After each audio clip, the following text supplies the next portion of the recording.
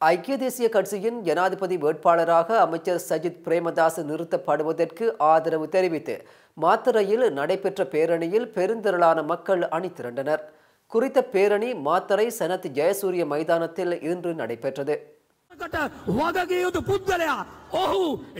பொதுஜன பெரமுன மற்றும் மக்கள் விடுதலை முன்னணி ஆகிய கட்சிகள் தங்களது ஜனாதிபதி வேட்பாளரை அறிவித்துள்ளன.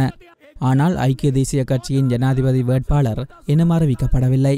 இந்த நிலையில் ஐக்கிய தேசிய கட்சியின் ஜனாதிபதி வேட்பாளராக சஜித்தை நிறுத்துவதற்கு பெரும்பாலானோர் ஆதரவு தெரிவித்துள்ள நிலையில் ஆதரவு திரட்டும் பேரணிகளும் இடம்பெற்று வருகின்றன.